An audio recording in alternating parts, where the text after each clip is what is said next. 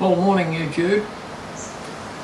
Uh, I suppose everyone's wondering, including myself, uh, now what?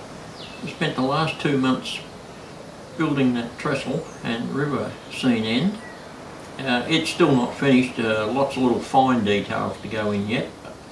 We'll cover them in future episodes. I need to get my brain into a uh, different cog I think and move on to something else. And the first step will be to have a massive clean up here all around the layout I think so that I can see what I'm doing and uh, then maybe get a bit of that wiring sorted out that I started some months back on that new panel. Uh, after that not quite sure the direction uh, everything will take but uh, we'll just see how it flows. I, I tend to do things uh, that I'm in the mindset to do uh, rather than have a strict stringent plan. I've just always just got a lot of options open and uh, whatever takes my mind to start on any particular day or week or month that's uh, that's what I do. And that way I find I make the most progress. Not always in the one area at the same time but uh, overall things move along. So it's mess there it's time for a clean up and uh, then a serious think. So I shall come back to you shortly.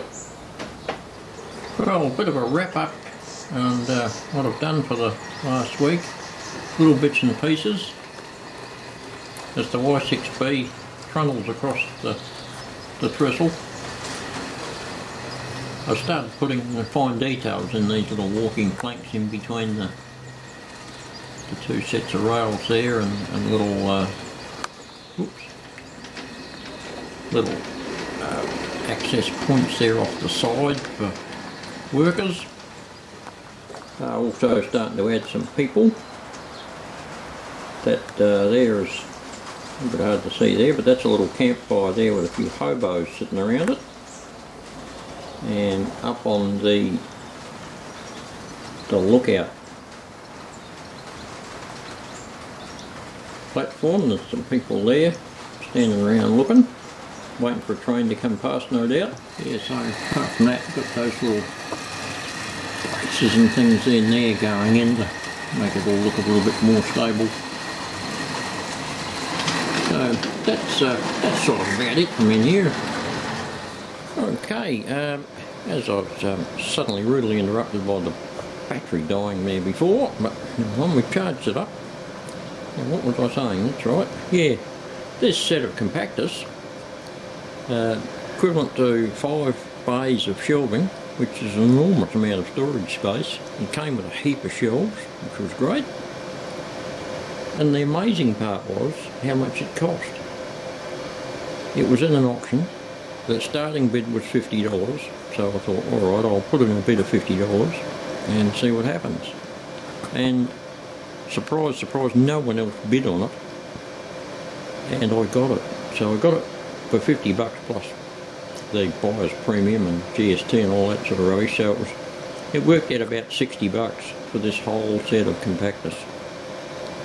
They normally go for many, many hundreds because they're, they're like a couple of thousand dollars new, easily, or more. So anyway, we picked it up up in Adelaide last trip there and um, brought it home and I've since put it in the shed.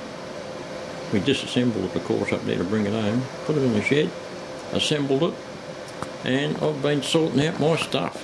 I, uh, yeah, I emptied out over there which was just a mess and sorted it all out into the shelves here, all the buildings up the top there and building kits and rolling stock kits. Got all that sorted and there's uh, more inside still. Uh, I managed to take quite a bit of stuff out of these uh, architectural drawers, those ones that I got earlier, so I've freed up some space in there to sort some more low bits and pieces out. But yeah, there was a, a double set of shelves on the end here, so I attached them permanently and uh, put shelves in there. I've got uh, locos and building styrene, timber, scale lumber there. Yeah. All sorts of other bits and pieces, the wheels and cogs and got all my figures and plastic parts and signs and all spare pe pizza pe people and bits and pieces and uh, even had room for all my railway books. Got them out of the other shed, piled them up in there. Back and um, yeah, in this area I've just started getting that organised. I've got a bit of O scale there. And grandson's trains up on the top shelf. All sorted out. Uh, yeah, there's plenty of room there for workshop stuff. Of course, in this other one, that's a, yeah, I've got a full set of shelves in there with uh, parts box size gaps, so I can fit an enormous amount of uh, tools and uh, stuff like there. I hope, hope, to put all my nuts and bolts in there and get them all organised, get them away from over on the wall on the other, other side there. Not only that, there's still all this one free. So I can get um, a lot of the stuff from underneath the bench here that's in the bloody way uh, sorted out and on the shelves in there nice and neat yeah all those nuts and bolts and stuff over there I can I can take them out and then uh, actually take those shelves away from there and make that a plain plain wall and give me more uh, workbench space down the bottom here and get all that stuff out of the way.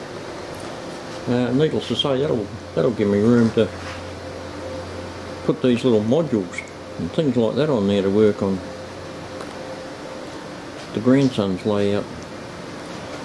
And uh, course once we free up this middle space here then I can I can start working on the old motorbikes. Yeah so uh, yeah bit of this and that done this week had um, relics down from Adelaide some of the wife's um, family uh, that takes up time needless to say being social and all that sort of stuff uh, so we've got a bit done but um, yeah, a little bit late getting this upload done, but never mind. Uh, I'll try and be on track again next week and get one up Saturday night.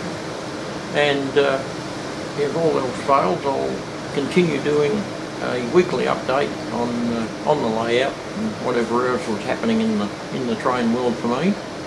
So uh, until then, uh, thanks for watching.